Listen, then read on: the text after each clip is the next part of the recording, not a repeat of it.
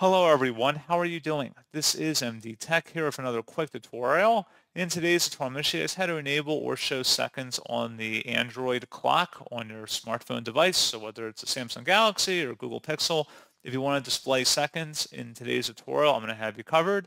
And without further ado, let's go ahead and jump right into it.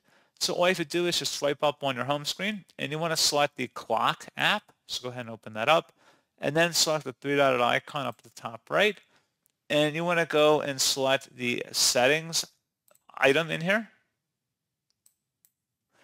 and then go underneath where it says display time with seconds. If you want to enable that, just toggle it to the right, meaning that the clock will now display time with seconds.